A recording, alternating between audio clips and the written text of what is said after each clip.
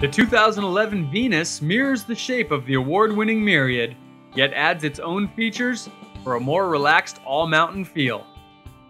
This board features a directional twin shape with a slightly set back stance that allows for an all-mountain ride. Flow's signature Easy Rock reverse camber has a mellower shape with a convex base, allowing the board to excel in any and all conditions. The extruded Optics 2000 high density base offers easy maintenance. This board features a true flex core for great all-around response. The EZ dual transitional side cut makes turn initiation easier by using a mellow radius between the feet and at the tips while blending in a tighter radius for quick and easy turning. Sit back and let the Venus do the work, and all you have to do is look good.